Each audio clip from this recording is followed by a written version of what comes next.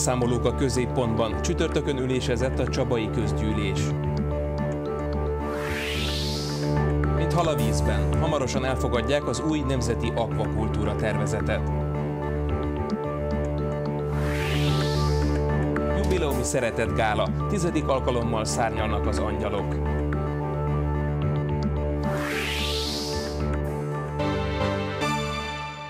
Jó estét kívánok! Önök a 7.tv híradóját látják. A beszámolók kerültek a fókuszba csütörtökön a Békés Csabai Képviselőtestület májusi ülésén. Szó volt a Csaba Parkról, a Békés Csabai Rendőrkapitányság munkásságáról és a Munkácsi negyedről is. Az éveleje óta a vagyonkezelő ZRT helyett a Városfejlesztési Kft. üzemelteti a Csaba Parkot. A cég a csütörtöki közgyűlésen tárta a képviselők elé üzleti tervét, melyet többen méltattak. Ugye kimutatja az anyag, hogy nagyjából egy 50 millió forintos veszteséggel számol a, a cég az üzleták tekintetében. Hogyha egy picit kitekintünk a 2023-as, 24-es, 25-ös évekre esetlegesen, akkor mikor lehet reális és milyen ütemben lehet reális ennek a veszteségnek a csökkentése. Amint ezt többen is hangoztatták, a Csaba Park még nincsen kész, és nyereséges sem azonnal lesz. Ez az első év vagy első két év az próbaév, de azt szeretném kérni a társaság vezetésétől, hogy ne, ne elégedjenek meg a tervszámok teljesítésével, hanem ha több van benne, akkor jöjjön ki a több. Az üzemeltető cég vezetője azt ígérte, hogy ütemezetten faragják le a vesztesség mértékét. Tehát mi azon dolgozunk, hogy ezt a vesztességet folyamatosan, fokozottan, nagyon nagy munkával leküzdjük, és már most is egy jóval alacsonyabb veszteséget terveztünk. Véleményem szerint minimum 4-5 év kell ahhoz, hogy egy nullszaldós értéket elérjünk.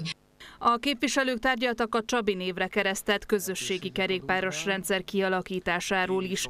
Az eredeti tervek szerint a város öt pontján alakítottak volna ki dokkolókat a bérelhető kerékpároknak, azonban tavasszal a közgyűlés ezt háromra csökkentette, májusban pedig a helyszínek közül kettőn is változtattak volna. Ezt a dokkolót, ami Jaminában a Madács iskolához lenne kihelyezve, ez bekerülne a Csaba Gyöngye Kulturális Központhoz, illetve a Munkácsi Múzeum közelsége miatt indoklásképpen, hogy a, a, a turisztikai frekvenciáltság az, az, az jobban elérhető. A projektet bonyolító városfejlesztési Kft. ügyvezetője arra figyelmeztetett, hogy az irányító hatóság valószínűleg nem hagyja jóvá a jelentős módosításokat, ráadásul a város a támogatás összegéből is bukhat, ha nem az eredeti menetrend szerint haladnak. Az engedélyes kiviteli tervek, a közműnyilatkozatok, az, a hatósági engedélyeztetési folyamat mind lebonyolításra került erre az öt helyszínre. Tehát ha most új helyszíneket teszünk be, akkor biztos vagyok benne, hogy a tervezés már nem számolható el a projekt keretében. Beszámolt elmúlt éves tevékenységéről a Békés Csabai Rendőrkapitányság. Mint kiderült, több volt a baleset a városban, mint korábban, de a bűnözés csökkent a megye székhelyen. A regisztrált bűncselekmények száma 91 eset számmal csökkent az előző évhez képest, a nyomozási eredményesség mutatónk pedig 79,6%-ra emelkedett. Az értékelt időszakban nem történt olyan súlyos bűncselekmény, amely a köznyugalmat súlyosan megzavarta volna. A Munkácsi negyed is szóba került csütörtökön, többen nevezték előremutatónak a projektet. A zsónai kulturális negyed is egy kulturális negyed, de azt ráépítették egy, egy meglévő gyárra. Itt meg, itt meg több értéknek az összekapcsolásáról van szó. Én teljesen komolyan mondom, hogy néhány éven belül jó néhány követőnk lesz ebbe a dologba. A szakértők szerint jelenleg három olyan probléma van, amelyet meg kell oldani a negyed működtetése kapcsán. Az egyik az, hogy a fizikai térben látszódjon, hogy a munkácsi negyedben van a látogató, a másik az online térben, a harmadik pedig az intézményi működésben és a programokban. Tehát ez is egy nagyon fontos feladat lesz. A közgyűlésről készült adásunkat teljes egészében megismételjük május 28-án szombaton és május 31-én kedden, mindkét napon délelőtt 9 órától. Az ülésről szóló részletes írásos tudósításunkat a behír.hu önkormányzati hírei közt a közgyűlés rovatban találják. A rendőrségi adatok alapján a megyei jogú városok között Békés Csaba az egyik legbiztonságosabb település, fogalmazott Szarvas Péter polgármester a közgyűlést értékelő tájékoztatóján pénteken. A városvezető a közbiztonság mellett beszélt a Csaba Park helyzetéről, a Napsugár Báb Színház új otthonáról, valamint a Munkácsi negyed kialakításának feladatairól is. Békés Csaba polgármestere tájékoztatóját azzal kezdte, hogy a lencsési lakótelepen a nemrégiben elhunyt önkormányzati képviselő dr. Ferenci Attila rendelője előtti teret a házi orvosról nevezik el. Szarvas Péter kitért a megyeszékhely közbiztonságának helyzetére is. Örömmel láttuk és hallottuk azt, hogy 2021-ben tovább csökkent a Békés Csaba közigazgatási területén elkövetett regisztrált bűncselekmények száma, több mint 10%-kal lett kevesebb, és a rendőrségi felderítettségi mutató is jelentősen javult. A polgármester a Csaba Park területén zajló tevékenységekről szólva hangsúlyozta, hogy a Városfejlesztési Kft-től az ingatlanok és az attrakciók hasznosítását, míg a városgazdálkodástól a zöld felületek karbantartását várja el az önkormányzat.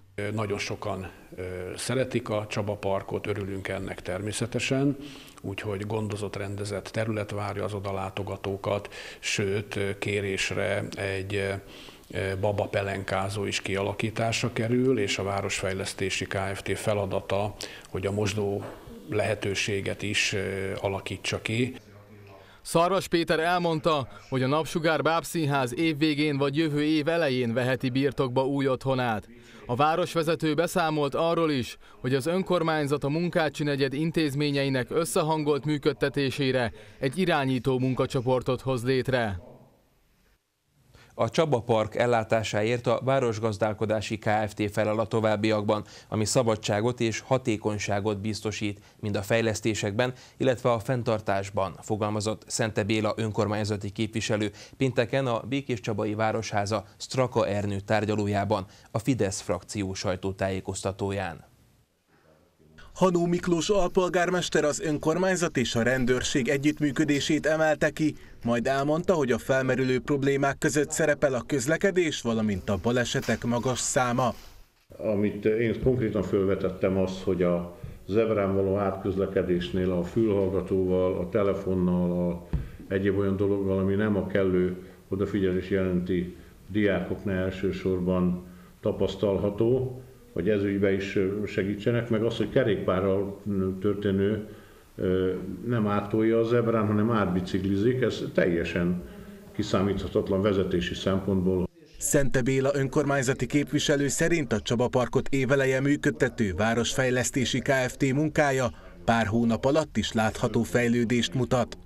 A Városfejlesztési Kft. az, aki, aki a Csaba Parknak a, a felelőse, és elkészítette a Városfejlesztési Kft. a Csaba Park üzleti tervét, ami, ami már egy régen vár dolog volt, és ami tulajdonképpen biztosítékot ad arra, hogy a Csaba Parknak a működése az elkövetkezendő időszakban egy tervszerű, fejlődőképes dolog lesz. A képviselő a közterületek, utcanevek változásaival kapcsolatban hangsúlyozta, hogy ehhez minden esetben a lakók hozzájárulási nyilatkozata is szükséges. Hamarosan elfogadják az új nemzeti akvakultúra stratégiai tervet, aminek alapillére a kisüzemi halászatok fejlesztése és az új versenyképes halfajok hazai tenyésztése, fogalmazott az Agrárminisztérium helyettes államtitkára a 46. halászati tudományos tanácskozáson Szarvason. A tervezet aktuális is, hiszen az ENSZ közgyűlése 2022-t a kisüzemi halászat és az akvakultúra nemzetközi évének nyilvánította. Német István évtizedek óta foglalkozik haltenyésztéssel. Azt mondja, idén az asszály miatt egész Európában kevesebb lesz a hal energiaproblémák, munkabérek az egész ágazatot országosan sújtják. Jelenleg egész Európában halhiány van. Románia, Lengyelország, Ausztria, mindenki nálunk keresi a halat, Horvátország, mert a környező országok hasonló gazdokkal küzdenek, mint Magyarország, és jelenleg annyi halat is alig tudunk halászni, amivel a legszűkebb feldolgozói kört, illetve a halboltokat el tudjuk látni. A halászati ágazat Magyarországon az állattenyésztés alig több mint másfél százalékát teszi ki, Ezen összefogással változtatnának a haltenyésztők. Hamarosan elfogadják azt a tervet, amely célul tűzi ki a kisüzemi halászat fejlesztését, mondta az Agrárminisztérium helyettes államtitkára a halászati tudományos tanácskozáson Szarvason. Szentpéteri Sándor hangsúlyozta, bővítenék a haltermékek kínálatát, és szeretnék, ha az európai exportpiacon is versenyképes fajokat vezetnének be a tenyésztésbe. Nagyon fontos az, hogy az a 6,7 kg per fő per év halfogyasztás, ami Magyarországon jóval az EU-s átlag alatt van, és ennek 70%-a tengeri hal, ez sokkal ö, ö, több arányban, vagy nagyobb arányban tartalmazon egészséges magyar halat. Az államtitkár hozzátette, a hazai akvakultúra fejlesztése azért is fontos, mert elsősorban a vidéki foglalkoztatottságot javítja. Ráadásul a halastavak ökológiai szerepe is kiemelkedő. Közművelődési szakmai napot szervezett a Csaba Gyöngye Kulturális Központ, a Nemzeti Művelődési Intézet Békés megyei igazgatósága és a Közösségfejlesztők Békés megyei Egyesülete csütörtökön. Az eseményen közművelődési szakemberek, települési önkormányzatok és kulturális civil szervezetek gondolkodtak közösen. A pandémia miatt hosszú idő után jöhetett újra össze a közművelődési szakma a Csaba Gyöngye Kulturális Központban. A közös kincseinkért elnevezésű rendezvény immár hagyománynak számít az intézményben. Hogy van egy műhely konferencia, amit a Nemzeti Művelődési Intézettel közösen és a Közösségfejlesztők Egyesületével közösen szervezünk. A Nemzeti Művelődési Intézettel együtt hívtuk létre ezt a sorozatot, és azóta is évről évre együtt szervezzük meg az eseményt.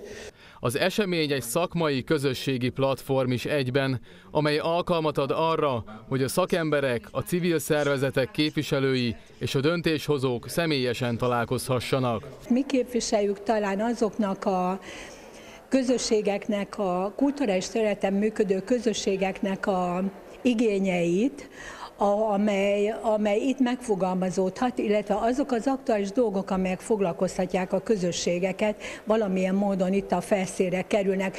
A konferencia egyik nagy érdeklődésre számot tartó programja Závodján Magdolna és dr. Német János István Változások vonzásában kettő című könyvének bemutatója, és az ennek kapcsán létrejött kerekasztal beszélgetés volt.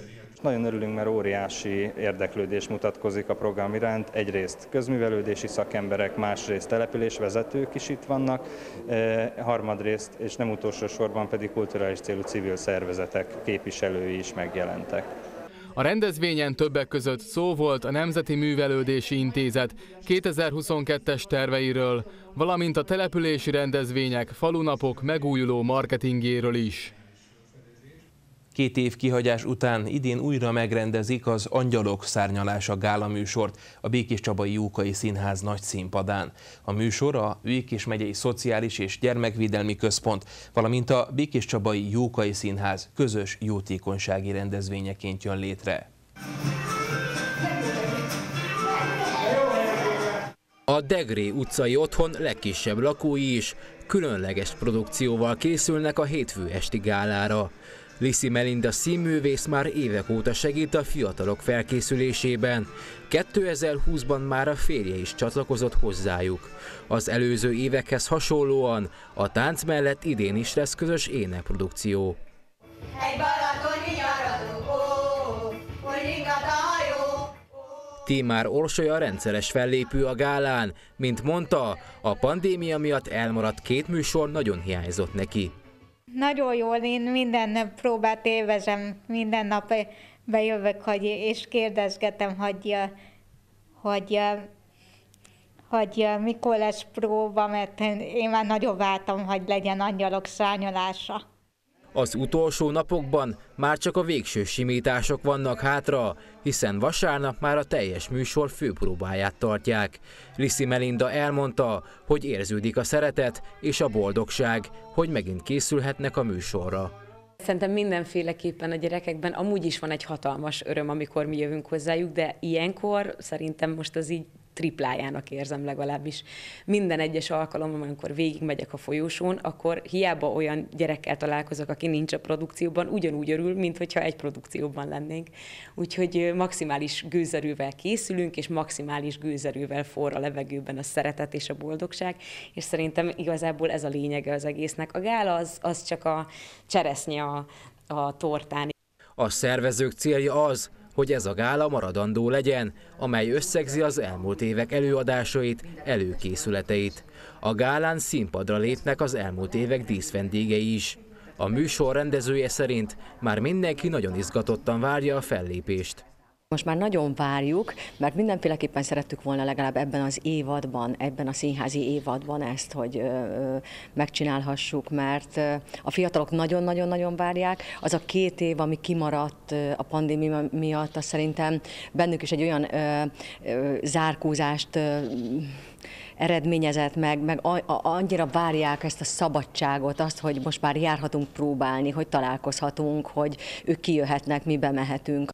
Az előadás május 30-án, hétfőn este 19 órakor kezdődik. A színháza jegyekből származó bevétellel a Békés megyei Szociális és Gyermekvédelmi Központ lakóit támogatja.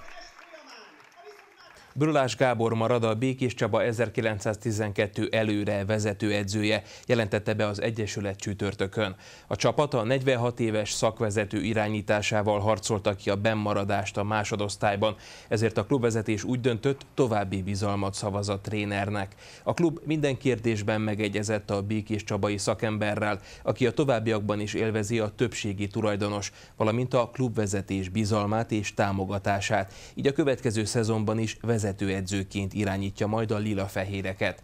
Brolás Gábor egy pécsi sikerrel nyitott a kispadon, majd ugyan három vereséget szenvedett a csapat, de végül a harmadik kerület elleni 2-1-es sikerrel kiharcolta a bennmaradást. Mini vizitúrákat szervez Békés Csabai általános iskolás gyerekeknek a Körösökvölgye Naturpark Egyesület márciustól június végéig. A program során közel 250 gyermek ülhet kenuba az élővíz csatornán. A Békési Kajak Kenu Klub Békés Csabai szakosztályának alapítója és edzője először az alapevezési technikákat mutatta be a diákoknak az élővíz csatorna partján szerdán délután. Szőke Péter szerint a sportág számos élményt ad gyermekkorban, a foglalkozás célja pedig az, hogy a fiatalok megismerjék és megszeressék a sportágat. Gyerekkoromban kajakoztam 6 évig, és vizen nőttem föl. Ez adott egy csomó élményt, amire most is vissza tudok emlékezni és mivel van két kisfiam, szerettem volna, hogy ők is ebben az élményben nőjenek föl, ezért elkezdtem magamnak hajókat vásárolni, aztán vannak nekem barátaim is, vettem kenukat is, hogy majd mini túrákat szervezek, és akkor valahogy jött a kapcsolódás a Békési Kajakenu klubbal, és ők kértek meg, hogy Békés Csabán, esetleg Gyulán lenne kedvem ezt a tevékenységet folytatni.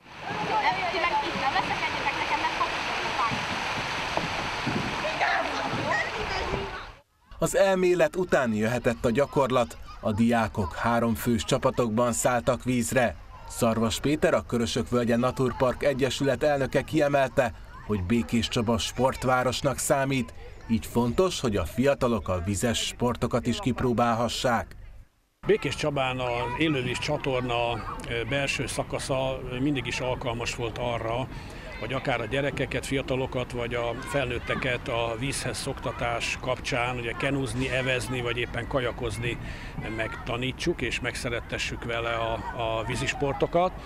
A Békési Kajaklub jó partnere ebben a Körösökvölgye Naturpark Egyesületnek. A június végéig tartó mini vizitúrákon összesen közel 250 diák vesz részt híradónkat látták. További híreinket és korábbi műsorainkat megtalálják a behír.hu oldalon. Köszönöm figyelmüket, maradjanak továbbra is velünk, viszontlátásra!